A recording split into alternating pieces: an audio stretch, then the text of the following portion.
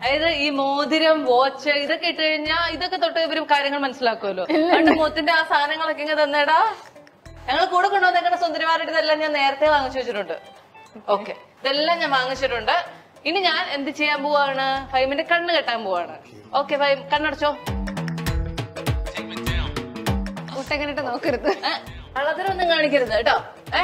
സത്യസന്ധ ആ ഇത് മനസ്സിലാവുന്നില്ലേ? ഇത് എത്രയാന്ന്? കറക്റ്റ് അല്ലേ മനസ്സിലാവുന്നില്ലേ ഇത് എത്രയാന്ന്? അത് മതി ഓക്കെ. അപ്പോ ബാക്കി രണ്ട് സുന്ദരിമാരെയും കൂടെ നമ്മൾ വിളിക്കാൻ പോവാണ്. ഏ തലമുടി തൊട്ട് മനസ്സിലാക്കാൻ പാടില്ല കേട്ടോ. തലമുടി കൈ മാത്രമേ പാടുള്ളൂ കേട്ടോ. ഓക്കെ അപ്പൊ മറ്റു രണ്ടുപേരോടെ ശബ്ദം ഇത് അവരുടെ കയ്യിലാണ് ഞാൻ തൊടുന്നെങ്കിൽ അവൾ ഓട്ടോമാറ്റിക്കലി ശബ്ദം കേൾപ്പിച്ചോളും. ഓക്കെ. ഇനിയാണ്. കയ്യിലും എല്ലാരും കൈ നീട്ടിയോ? ഓക്കെ ഇതാണ് ഫൈവ് മിനിറ്റ് ചാൻസ് ഇങ്ങോട്ട് വരുമോ ആ അല്ല കൈയെല്ലാം വന്നിട്ടുണ്ട്. കൈയെല്ലാം വന്നിട്ടുണ്ട്.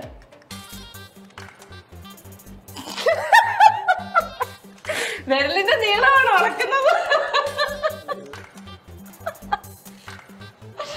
ഓക്കെ ആ കൈ കൊള്ളാന്നാണോ ഭയ ഇതാണെന്ന് ഡൗട്ട് ഉണ്ട്. ഒരു കൈ ഇവിടെ വേണം. ആ. ഇതല്ല കുറച്ചുകൂടെ തടിയുണ്ട്. Okay വണ്ണമുണ്ട് okay. കണ്ണു തുറന്നു. മിടുക്കൻ. ഞാൻ കൈ ഗുണ്ട് കൈ നോക്കി വെച്ചിരുന്നു. പക്ഷെ ഇത് ആക്ച്വലി കുറച്ച് സിമിലർ ആയിട്ട് തോന്നി. അതെ. കുറച്ച് മെലിഞ്ഞ കൈയായിരുന്നു. അപ്പൊ എനിക്ക് മനസ്സിലായല്ലോ. അപ്പൊ ഏതായാലും അധികം ഒന്നും തട്ടാതെ തല്ലോടാതെ ഈ റൗണ്ട് വിജയകരമായി പൂർത്തിയാക്കിയതുകൊണ്ട് ഈ ഈ ഈ ഈ വാച്ചും ഈ മോതിരം ഒക്കെ ഇതൊക്കെ ഫൈമിന് ഇട്ട് കൊടുത്തോ എന്നാ, എല്ലാം വളരെ ഗംഭീരമായിട്ട് ചെയ്തിട്ടുണ്ട്. ഓക്കെ നമുക്ക് ഇവരുടെ മോതിരം മറ്റും കൂടെ നടത്താം ഓക്കെ ഇട്ടുകൊടുത്തോ ഇത് ഉമ്മ ഗിഫ്റ്റ് ചെയ്ത്. ഓക്കെ അപ്പൊ വിജയകരമായി ഈ റൗണ്ട് പൂർത്തിയായിരിക്കുന്നു. ഗംഭീരമായി ബെസ്റ്റ്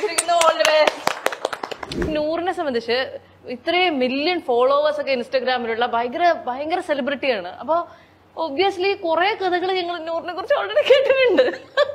ഈ കഥകളിൽ നിന്നൊക്കെ.